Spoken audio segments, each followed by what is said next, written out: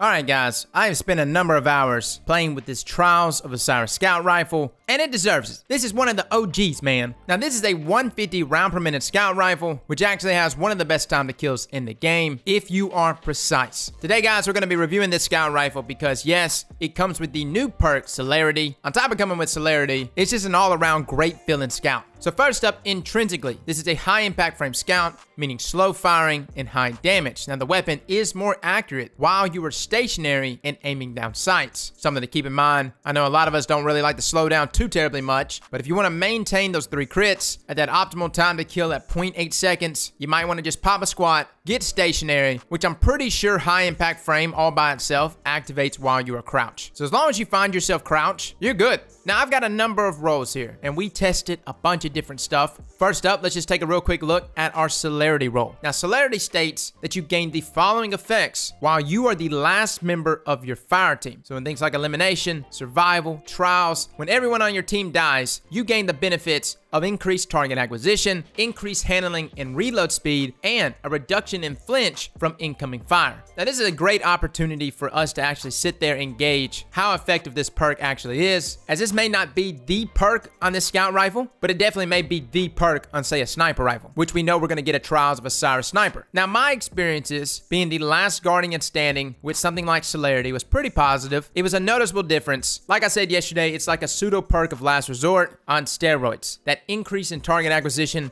is extremely nice for both PC users with mouse and keyboard and controller users. The only downside is, is that it is a scout rifle. So the chances of you clutching up a 1v3 with a scout, especially in this meta, it's still difficult. Got one of the best time to kills, but it's definitely not the most optimal weapon when you got three opponents crashing on you. Now the perk next to it is quick draw. Now quick draw has been associated as increasing or maxing out that handling speed of any given weapon. On top of that, it has amazing pullout game, but that's not the only benefit that quick draw has. It actually works as a 0.5 version of Snapshot. Snapshot allows us to aim down sights almost immediately. Quick Draw is not quite as fast as Snapshot, but it is damn close. I mean, damn close, which is nice considering that this is a high impact frame scout rifle. Aiming down sights can sometimes feel a little clunky, a little slow, and when you're having to sit there and reset your aim, quick draw is fantastic as you get kind of the best of both worlds. The increase in draw time speed, as well as that increase there in ADS speed. Now, another roll that we actually tried out is this roll right here. And I said I wanted to try it, elemental capacitor on a 150 round per minute scout rifle, as it actually gives us a ton of benefits based on the subclass you are using. Solar gives you that increase to reload speed, Arc gives you that increase to handling, Void gives you that increase to stability. The subclass that we actually rocked it with is a Void one. I wanted to see how much this increased stability felt like. Was it noticeable? It actually is. You'll see me shooting right here with it. You can tell there's not as much hop, which is nice for those consecutive shots. Now, unfortunately, this does not mean it drives down bloom. My experience with this so far is that 150s, when you max out that rate of fire, that reticle will bloom out thus meaning you gain that level of RNG there where your shot could potentially miss. Kind of stupid. But this is like Bungie's way of keeping things balanced. But in this sandbox, considering the time to kills of our other weapons, especially auto rifles in this sandbox, Bloom on 150s is pretty unnecessary. I really wish they just get rid of it. Considering that sniper rifles are so strong on PC, having these scout rifles, especially 150s avoid that Bloom, would allow for more room there for competition. But yes, it was noticeable. Matter of fact, we actually went the route of rocking that with a counterbalance mod, throwing our recoil direction up to 95, making the weapon almost perfectly vertical. Now the trait next to it is Underdog, kind of a weird one. Not gonna lie, I have talked so much trash about Underdog, as the weapon gains a boost to reload speed as your health gets lower. Surprisingly, I took advantage of this more than I thought. Normally after a gunfight, my health was low, and that increase of reload speed was extremely nice as it allowed me to re-engage. And considering that I don't have to get a kill to activate something like this, there is some benefit there to Underdog. Now granted, I honestly think that Underdog could have been better if it had another side perk, like you gain a boost to reload speed and say something like range as your health gets lower. Pretty sure Underdog gave us a boost in range as your health got lower back in Destiny 1. Would have been nice if we got that here. Not that the scout rifle needs range. With its zoom at 21 and its healthy range stat, we are reaching like damage fall off range of about 85 meters, which means you're pretty much going to be a-okay all across the board throughout all of our maps. Damage fall off should not be an issue. Now, another big benefit about the scout rifle is the ability to highlight targets. I really like that. Highlighting those targets, seeing them as they're trying to like peek back into cover. Pretty sure this is something that all trial weapons have, but the Scholar has it present here, which is extremely nice. Now let's get into the god roll portion of this video, as well as the hidden stats. Hidden stat wise, the gun is about tied with most of our other high impact scout rifles. I say the only standout perk, and it's not even a standout perk, is maybe the handling being a tad bit better and the stability being right there dead in the middle. Outside of that range and everything else, pretty much ties with it. Got a mag size of 13 though, and a base recoil direction of 80. And like I said, with the symbol counterbalance mod, if you wanted to put that on there, just allow yourself to stay more vertical, puts it at 95, which is just about perfect. Now the god roll for this weapon, after playing with it, experiencing with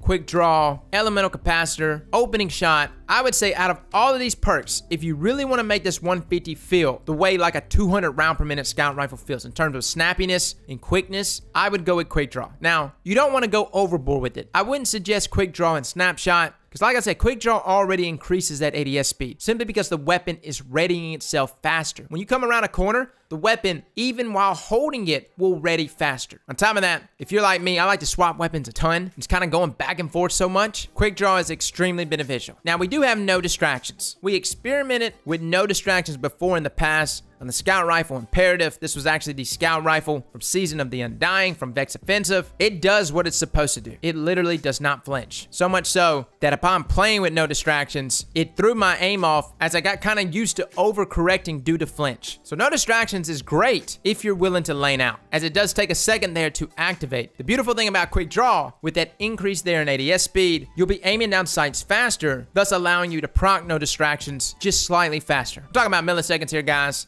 but it can make a difference. As far as celerity goes, I like celerity. I like it so much that I wish it was just an intrinsic perk on an adept version of the Scholar. And by the way, someone left a comment the other day or yesterday saying that we didn't even have adept weapons back in Destiny 1 Year 1. You're smoking crack, man. We most definitely had adept weapons. Celerity here is perfectly designed to serve as an intrinsic perk on all of these weapons, but considering that's not the case, I would say that if you are someone that relies on scout rifles for those clutch moments, then the roll that I was using, Celerity and Quick Draw, is a great roll. But if you want to just go overboard with it, you can also rock something like Opening Shot and Celerity. Roll those two together, you need a weapon that has just fantastic accuracy, both on the initial shot and just increased target acquisition overall. That's a combination I would not overlook. As far as Elemental Capacitor goes, the increase in stability is something noticeable, even for PC users. Now, whether or not you need it, well, that's completely up to you. Like I said, I wish Elemental Capacitor there, considering that it's actually making you use a certain subclass to get the benefit out of it. I wish the Void version of it, instead of increasing stability, it just reduced bloom. And before someone says, oh man, that would make scout rifles way too OP.